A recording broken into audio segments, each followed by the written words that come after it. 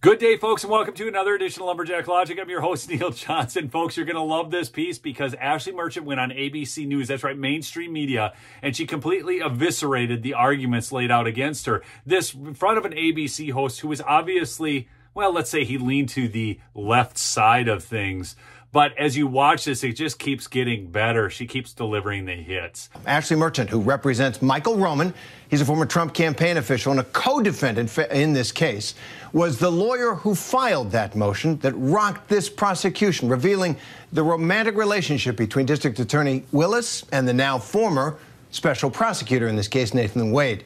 That motion to disqualify Willis from the case was denied by Judge Scott McAfee. But he nevertheless excoriated Fani Willis for how she handled the hiring of Wade and how she testified on the stand, saying, quote, an odor of mendacity clung to this case. Ashleigh Merchant joins us now. Thanks for being with us. Uh, so Judge me. McAfee, you bet. So Judge McAfee recently said you and the other co-defendants in this case can now appeal his decision to deny your motion to disqualify Fani Willis. Will you? What will you ask for? Yes, that's what we're actually doing now. So we're preparing our appeal. He gave us permission, but in Georgia, we have to get also the permission of the Court of Appeals. So that's the next step. So we've got 10 days to ask the Court of Appeals to grant that same permission. If they do, then the case will go to the Court of Appeals. If they don't, we will ask the Supreme Court also to, to grant it. Now remember, Ashleigh Merchant is the attorney for Michael Roman, so she's fighting that battle. But guess who gets to benefit from it? That's right, Donald Trump. Because as this gets pushed back, it goes beyond the election, and this isn't going to happen. You heard her talking about the timeline there, and eventually it's going to get appealed most likely to the Georgia Supreme Court, no matter what, okay? But this is where the Democrats continue to screw up because of their DEI candidates. I know she was elected, but nonetheless, she was put forward by others, and she is the DEI Hire, basically. And she's incompetent. She's got all this stuff going on, all this corruption, and it's all coming out. And they've done themselves in again. I want to come back to that sequence, but first, you said in, in your statement after Judge McAfee's ruling that denied this motion, Fani Willis uh, is not disqualified, uh, that you nevertheless feel vindicated by Judge McAfee's order. Why? You know, there was a lot of tension filing this motion. Um, it was difficult, and I was called a lot of different things a liar, you know, different motivations in filing it, everything other than just doing my job. And I knew I was just doing my job. So I was very happy that, that Judge McAfee saw the things that I saw, saw the um, the indecent ways that that certain folks responded, and you know, just the obstruction. Everyone was trying to obstruct us from getting evidence. Um, you know, they filed a ton of motions to quash subpoenas, called me a liar repeatedly, tried to try to not even get this motion heard. So I felt very vindicated with his statements that this was something more than than you know just lies or you know had any improper motives, anything like that.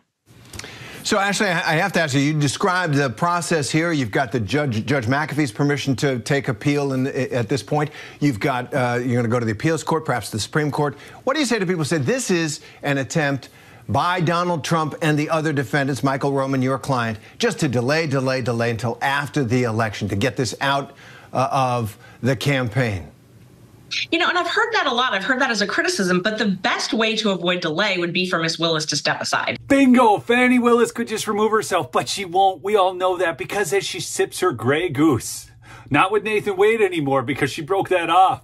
Because first she dumped Nathan personally and then she dumped him from the case. She could have been the one to leave, remind you. I, I tell you, she could have left. The option was given that either one of them could leave, but she will not. Because as she sips her Grey Goose, which she knows she loves, she's going to be lamenting the fact that she is a black woman who has been mistreated by the man. And she's going to go on another church tour and talk about how no one will impeach her impeccable character. That's right, people, because that's who she is. She's a victim. She is a complete perennial victim. She could have stepped aside originally. She could still step aside. If she chose to do that, there would be no delay because we wouldn't be able to appeal. So she could choose to step aside and this case could move forward. But, you know, just because something might delay a case doesn't mean that I can avoid taking a legal path that I think helps my client, I think is the fair result. We just want a due process trial here. We just want a fair trial. And this is the only way that we can preserve his right to a fair trial is by continuing to fight this disqualification. Ms. Merchant is so good at this. She just lays it all out there. But look, they stick the mugshot up of Michael Roman. Why? Because the mainstream media is still trying to peddle a narrative.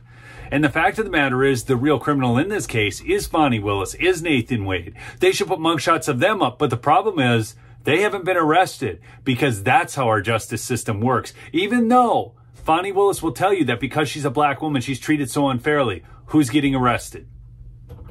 And when a black man like Harrison Floyd does get arrested, she wants to keep him there without bail.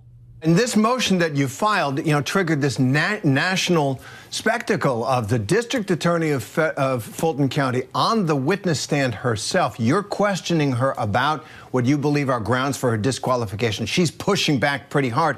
Uh, at one point, she accused you of being confused about the facts. Just, I want to take you back to that moment from right now.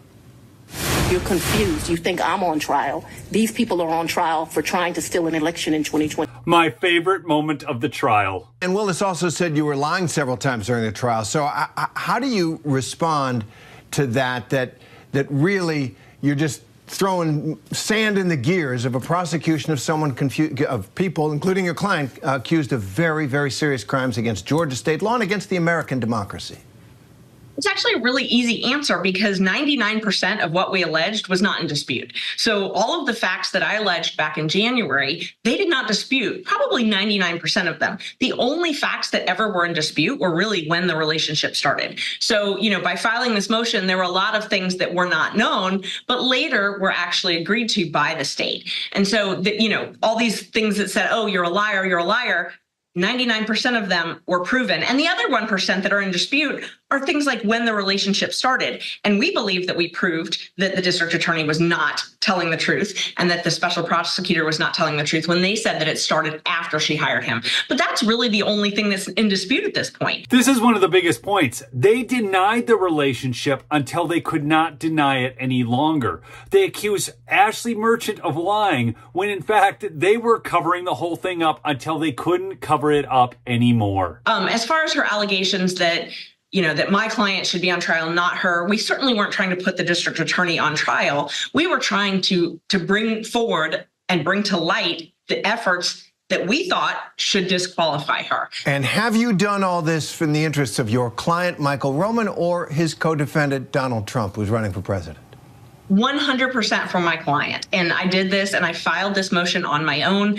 I, um, you know, did all the investigation, only talked to my client about it. My client knew about the motion. Obviously, he approved it before I filed it. But this was not some type of a colluded effort between other co defendants or anything like that. And you can see that. That's evident because if you look at the hearings that happened within the week after I filed my motion, Donald Trump's lawyer wasn't even sure if they were going to join it at that point. Ah, the wonderful people of ABC News working so hard to try and get Ashleigh Merchant tied up with Donald Trump when she's defending a completely separate client, although they are all part of the same suit. So Donald Trump is benefiting greatly. But remember, Michael Roman was the top op, one of the top opposition researchers in Washington D.C. Fani Willis was a fool for ever bringing him into this. So it's clear that they hadn't even made that decision yet whether or not they were going to join it. They wanted to do their own investigation. So I think it's very obvious that we were on an island at the beginning and we were the only ones pursuing this. And then other people, once they saw all the merits to our argument and saw all of the investigative efforts